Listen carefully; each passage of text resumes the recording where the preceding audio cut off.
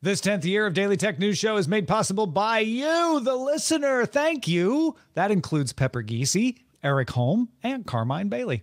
Coming up on DTNS, orbital pursuit jackals are coming for satellites, why some folks think AMD is price gouging, and why is every other tech story about ChatGPT? Turns out there's a good reason.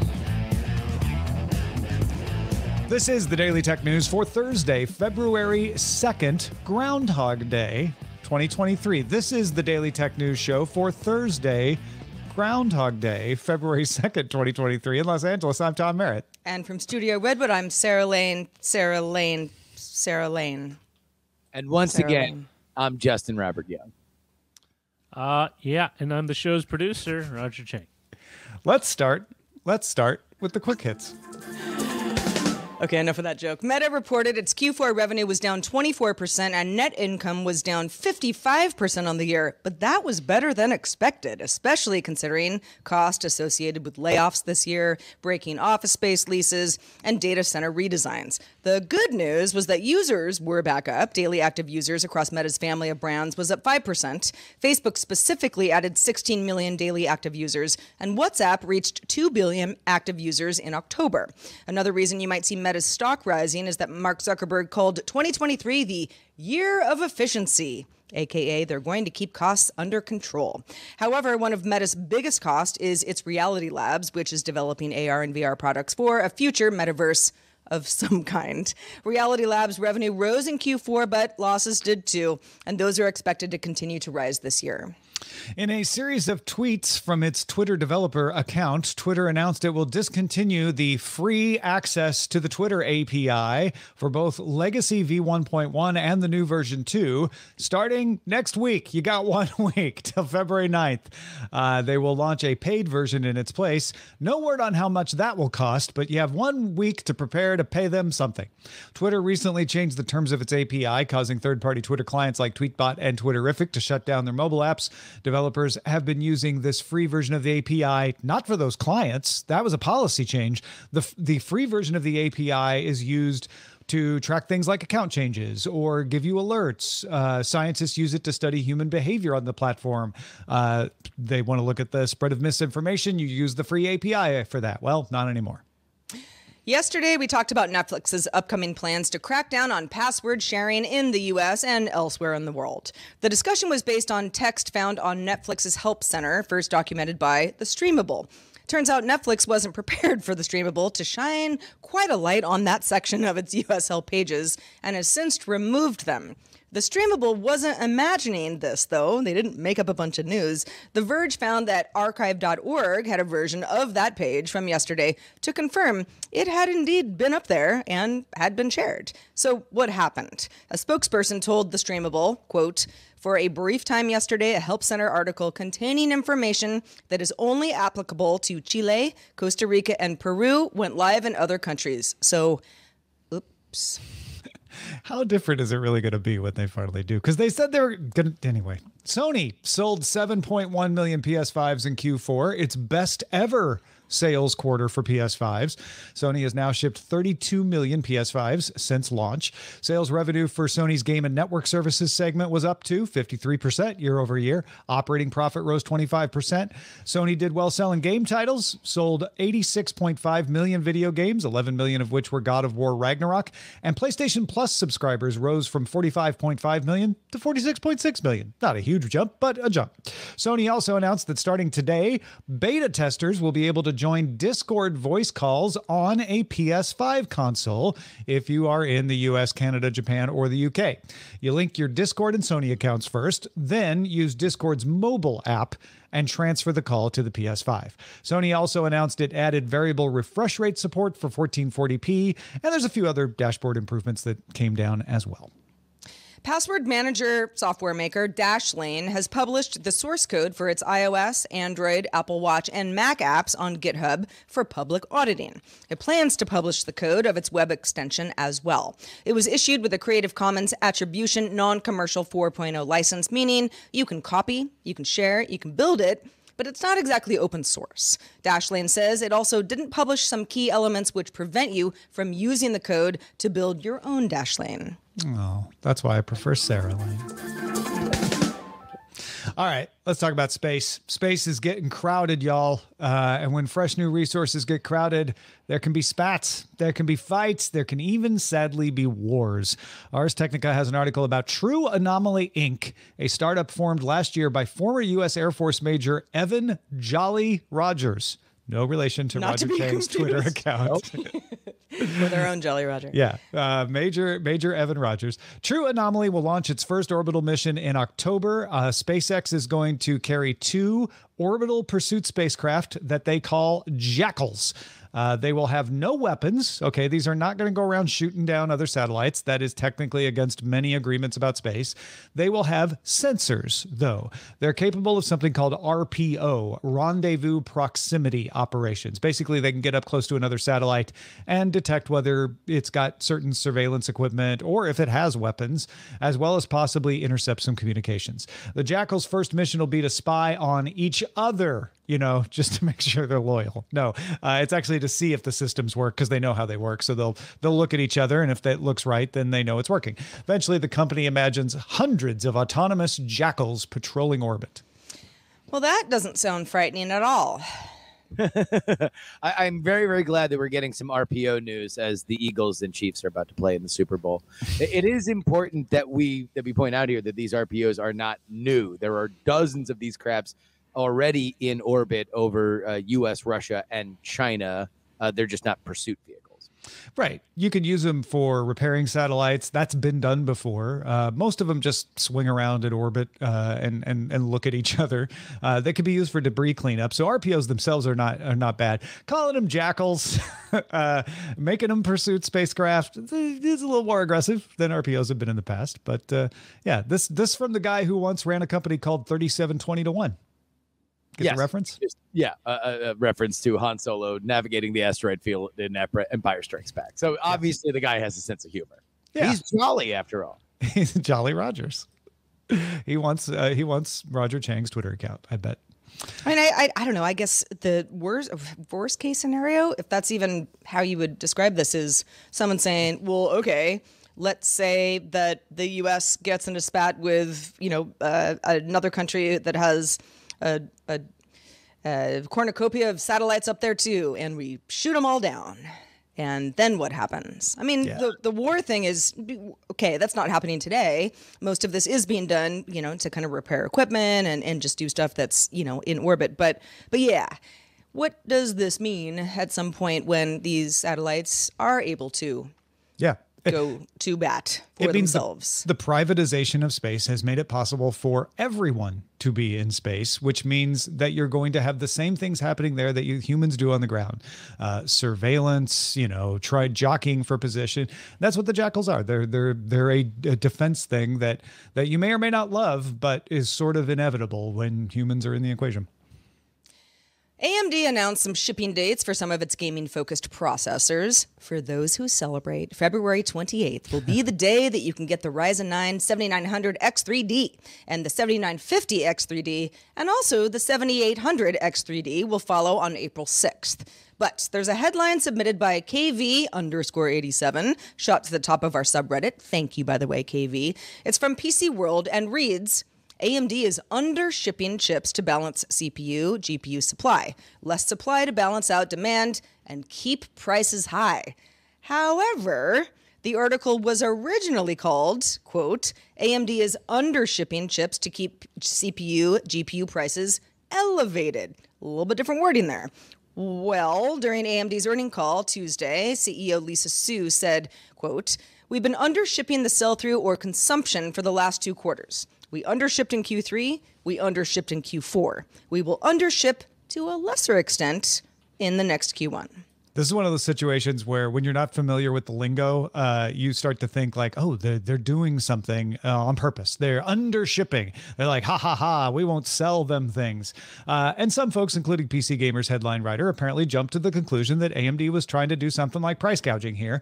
AMD's VP of Communications told PC Gamer, "We are shipping below consumption." Because there is too much inventory in the channel and that partners want to carry lower levels of inventory based on the demand they are seeing. In other words, there's already too many of these things available. That's why we're not shipping as many as we normally would because there's already too many of them. Uh, in fact, NVIDIA's CFO Colette Kress said a similar thing on the NVIDIA earnings call last November. She said, We have been under shipping gaming at this time so that we can correct that inventory that is out in the channel. Uh, or as Cobra 8089 in our subreddit put it, AMD is following basic supply and demand. Is Cobra right? Is this just Econ 101 or is this collusion? Well, but you also have to remember is how the the players work here. So the chip makers make the chips. The chip makers then either sell them directly to chains or sell them through another distributor that go to chains.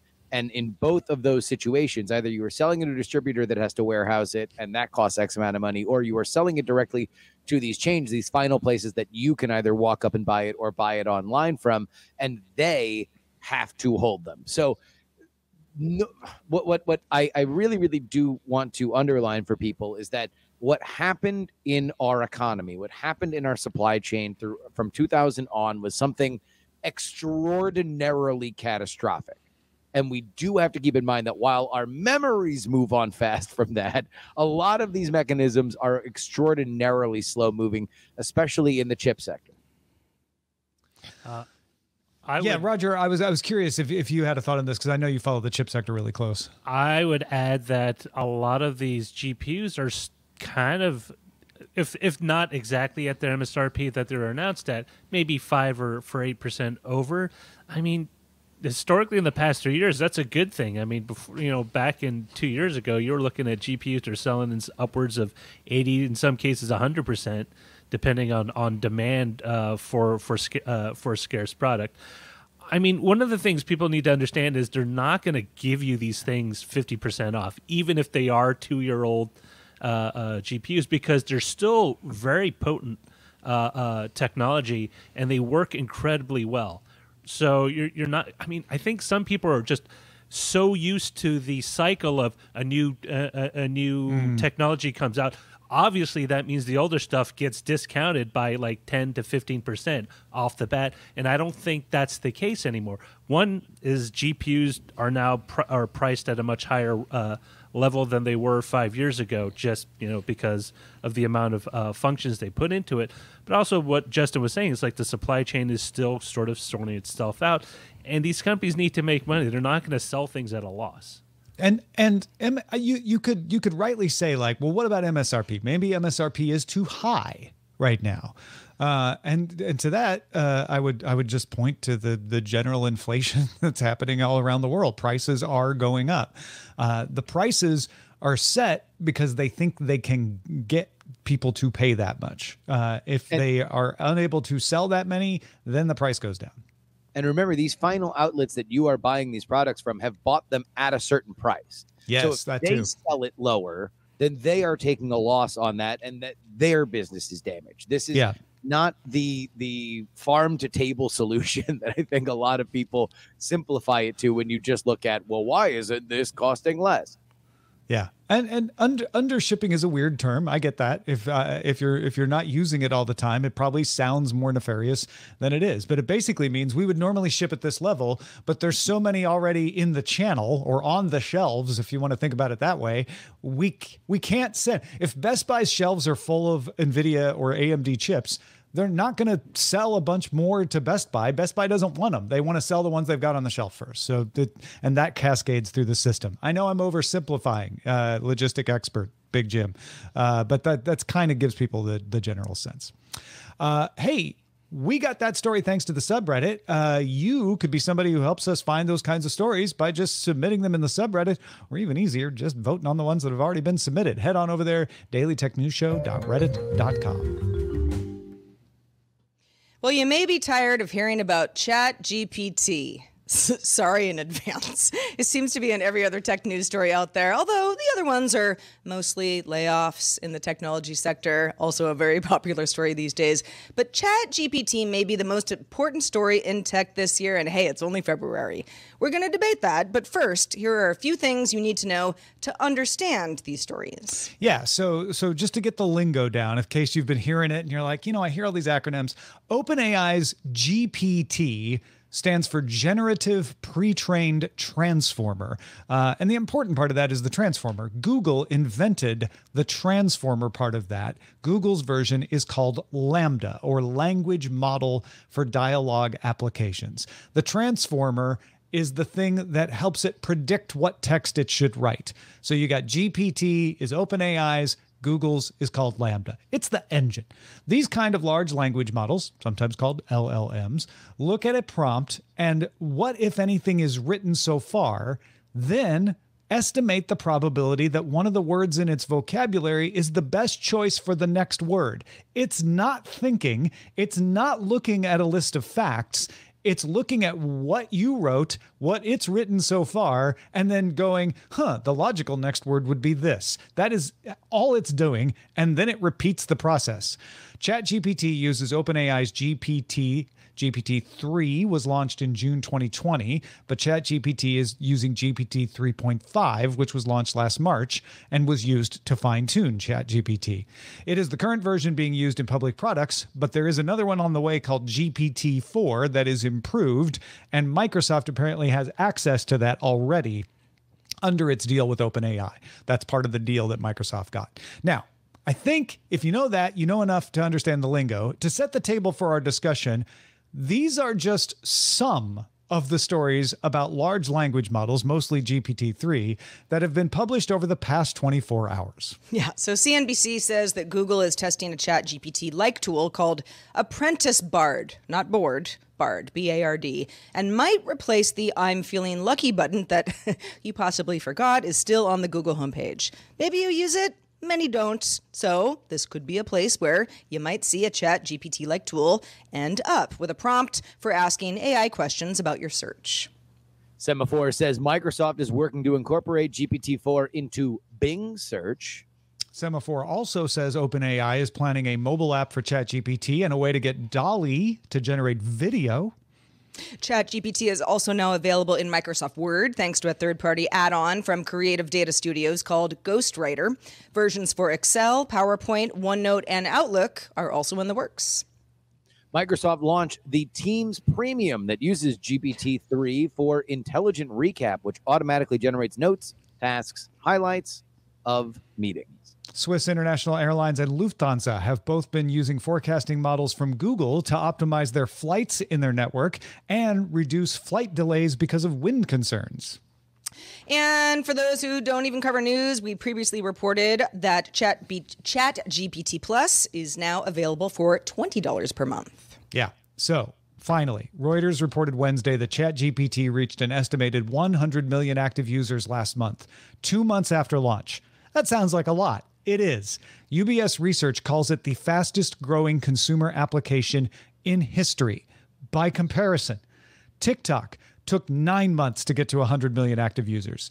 Instagram took two and a half years to get to 100 million active users. Facebook took five years to get to 100 million active users. ChatGPT took two months.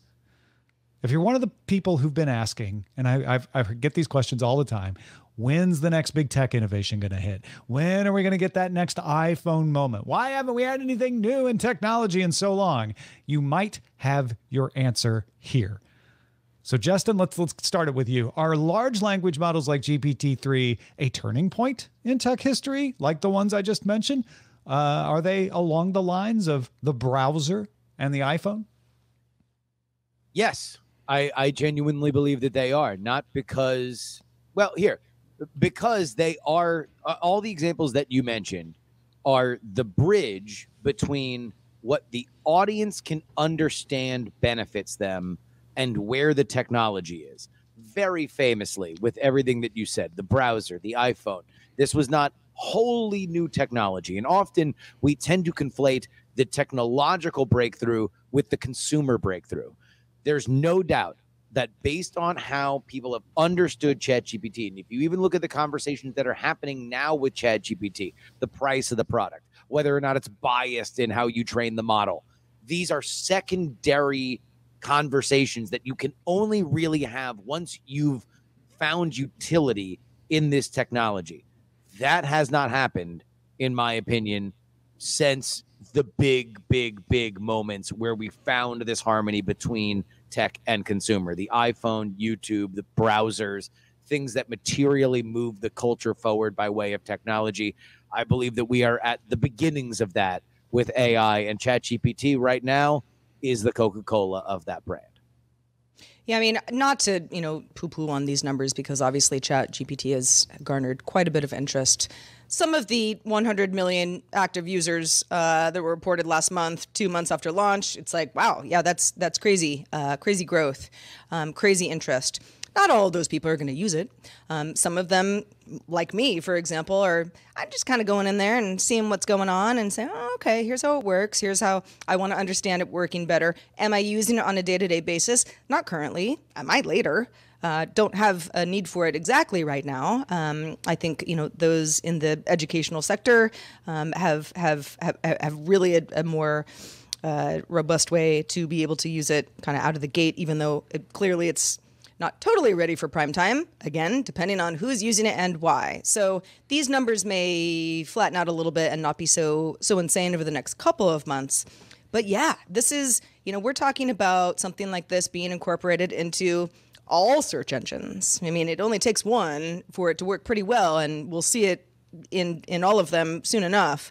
Um, and everybody's kind of working on that, trying to figure out, okay, very very powerful tool how does this get incorporated into things that people already use rather than this new thing where it's like well i don't need ChatGPT to write me my next book report because i don't but i sure could use it uh, in various facets of you know my professional life certainly and even my personal yeah, I, I I see so many elements of this that are familiar with things that became big. Uh, people saying, "I don't understand what you'd use this for," that doesn't mean anything to me. People saying, uh, "I think it's overhyped." Sure, it's flashy, but uh, what you know, it, it, people won't stick around and keep using it. That doesn't mean much to me. What means something to me is are there a lot of different uses and what kinds of fears has it evoked? Uh, because if it evokes fears, that usually means it's really good at something to get that kind of fear evoked. And you didn't see Facebook evoke a bunch of fears about privacy uh, when it launched, but you did have people wondering about whether it was, you know, good for students, uh, and uh, you know, are, are people going to uh, spend too much time? And there, then there started to be privacy stuff pretty early on. I think this has all the hallmarks of something that is used in a multiple variety of ways, and it's misunderstood. Uh, USC pro- associate professor of computer science Jonathan May wrote on the conversation: ChatGPT doesn't try to write sentences that are true; it tries to write sentences that are plausible. And I think wrapping your head around that gives you an advantage in understanding ChatGPT. Its danger isn't that it's going to replace book reports that stop people from thinking, because it's not good at that. At least not yet. Maybe a future version will be, and then we'll deal with that. What it's good at is constructing sentences, at giving you first drafts, at doing things that we haven't even figured out how to do with it yet. Uh, uh, Tom, let me ask you this: you've been you've been in this tech podcasting news game for uh, a while. What is your Hall of Fame of? Uh, why are we talking about this thing every single show. Yeah, yeah, yeah. The the thing that I, I uh, over and over and over have gotten like, oh, I'm so tired of hearing about X. Uh, yeah. Oddly, the the first one I ever experienced was when I, I was interning at National Public Radio. One of the reporters walked in and was like, Bosnia again. Uh, it's because it was just in the news every day in the mid 90s. Uh, but Microsoft in the in the earliest days of Tech TV and CNET. Oh, you guys overcover Microsoft. Why don't you ever talk about Apple? Very soon after that, oh, Apple. That's all you ever talk about. Why don't you talk about Microsoft or something else? Uh, Facebook, lately Twitter. I don't know. I'd have to think about it some more to, to come up with the true Hall of Fame, but those those would all be entrants right there. And I think all of those were big, big, big news. They all fall into this uh, this genre. Well, folks, we're not quite done talking about generative machine systems. If you've ever wondered why those machine generated images can't do hands well, they've always got like six fingers or they're malformed. Or three. They look like a claw. Yeah. Uh, Sarah, explain, please. So BuzzFeed's Pranav Dixit wondered the same as you, Tom, and sought to find the answer. He talked to artist and University of Florida Associate Professor of AI, Amelia Winger Bearskin. Turns out it's all in the training. Models like Midjourney, for example, are trained on images that just don't show hands very well. And those are images that are photographs of people. If a hand is in a picture at all, it's usually holding something or pointing, making a fist. Maybe it's in a pocket. Maybe you don't see it at all. Few fingers are often showing. So it learned it from watching us. Yeah. It's like We're like the problem. You you've never shown me a picture that definitively tells me how many fingers are on a hand. How am I supposed to know? I'm just going to do my best and make fingers look real weird. Everybody put your hands where AI can see. yes, hands up for the AI. Uh, it's it's an interesting uh, example of training set bias. You know, we usually talk about training set bias in in in relation to ethnicity and skin color and things like that, and we should. Uh, but this is another example of that. Like we we have biased it to not know how many fingers are on a hand because we didn't put enough hands in the training set. The thing, though, is that okay. I get that this does happen. However, um, having put some used uh, some photos, you know, like a nice photo of a friend, where I thought, oh, maybe I could add like a little, I don't know, art quality to it and get it printed out or something, and just do something kind of fun and and um, and uh, and creative. Some of those images do have hands that I think are pretty easily shown, but the AI version of it is totally messed up. The rest of it is mostly fine until you look at the hands and you're like, oh gosh. Well, I'm not yeah, sure I want to give you this. just just like we described with the chat gpt it doesn't know how to draw hands it just goes based on all the hands i've ever seen or things that look like hands Yeah. here's what i expect it, it could look like uh, and then yeah and then it then it does its best so really what we're saying is lend ai a hand yeah. Show 'em- show 'em what's up, humans. all right let's check out the mailbag Let's do it. Josh wrote in and said, This came up a few times this week in previous episodes. Just wondering your take. Josh says Netflix has refused to be part of the Apple TV app, and I totally get that. They want people in their app watching their shows, followed by another one of their shows. If they're in the TV app, people may watch another service's show next, etc. Josh says when they were far the biggest streamer, it made sense. But lately, most of the others are in the app, and I find myself going there mostly and consequently rarely opening Netflix itself. Seems like at this stage, it's backfiring. I assume I'm not alone. I guess my question is do you think Netflix will give in and allow themselves to be fully integrated or continue to hold out? Uh, good question. These are this is a great question. I've I've had these exact same questions myself. Here's the app answers that I have come up with uh, in looking into this sort of thing. Uh, first of all, Netflix does not seem to be suffering from it. And my personal anecdote back to you is I thought the same thing. Like, oh, I keep forgetting to go to the Netflix stuff because it's not up there in the top row of Apple TV. But then I did. Then I remembered. Then I found something that was like, oh, this is only on Netflix. And it wasn't hard to go launch Netflix. It doesn't seem to be the problem with Netflix's subscriber numbers. So I don't think you can show evidence that not being in, in integrated in either Apple TV or Android or anybody else's uh, lineup is causing a problem. The second thing is, it's not that they're worried about people watching other shows than theirs if they're up there. Uh, because then it wouldn't make sense not to be there at all. Because, like you say, then people might forget that Netflix has shows they want to watch. It's about the relationship with the audience. Apple wants to control all the information that goes into selecting those shows.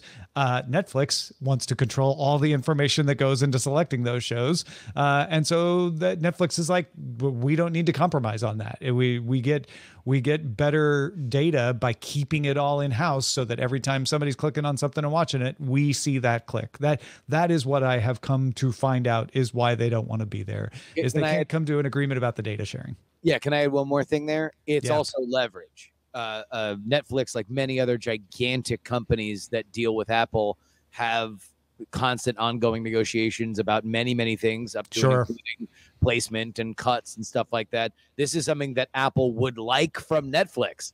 So, considering Apple's intransient position on some of their issues with the App Store, Netflix, I don't believe, is in any kind of mood to be doing favors. Now, if they could strike a grand bargain, then maybe they would be more amiable to do it. But right now, I don't believe Huh. without something that would be all encompassing, it, it benefits Netflix interests to do anything for Apple uh, that would make their technology more of a must buy for consumers. Yeah, think of it this way the 30% that Apple takes from Netflix subscribers, if they were to offer subscriberships through uh, the App Store Yeah. uh, directly, uh, if you could reduce that, that might cover the value lost by letting Apple manage that relationship with Netflix. Yeah. Yeah. Well, thanks, Josh, for writing in. And to anybody else who has thoughts on anything we talk about the show or might talk about on a future show, feedback at dailytechnewsshow.com is where to send that email. Also, thanks to you, Justin Robert Young. Let folks know where they can keep up with your latest. I do a podcast called Politics, Politics, Politics, and uh, we are gearing up for the big primary season, which is currently in swing. In fact, I did an episode before news broke that Nikki Haley was going to announce that she is running for president on February 15th in Charleston, South Carolina. Just by the grace of the podcast gods, I did a whole explainer not only about Nikki Haley, her entire career, uh, and the hokey pokey that she has played with the Trump right. You can download all of it at Politics, Politics, Politics, the many lives of Nikki Haley, wherever you get your podcasts. Also, a special thanks to Michael Perkins, who is one of our top lifetime supporters here on DTNS. Michael, we see you. Thank you for all the years of support. Thanks to all of you who support us. Be like Michael if you're not already. Uh, they, if you're already a patron, just just hang in there. We'll get to you. There's a lot of you. Uh, but if you're not, Michael, we'll we'll get in there, and we'll actually. You know what? I know we shouldn't do this, but if you join right now, we'll kick you to the front of the line. We'll mention you tomorrow. Patreon.com/slash DTNS.